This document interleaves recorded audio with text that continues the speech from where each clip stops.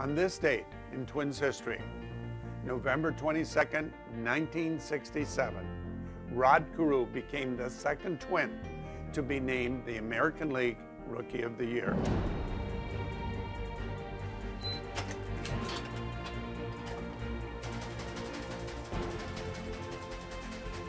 The first had been Tony Oliva in 1964. Rod Carew led the Minnesota Twins in hitting that year, as he would nine times in his career.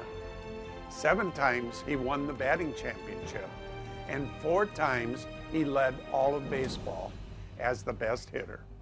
1967 was the start of what would be one of the greatest careers in Minnesota Twins history moving forward to his election on his first year's eligibility into the Baseball Hall of Fame.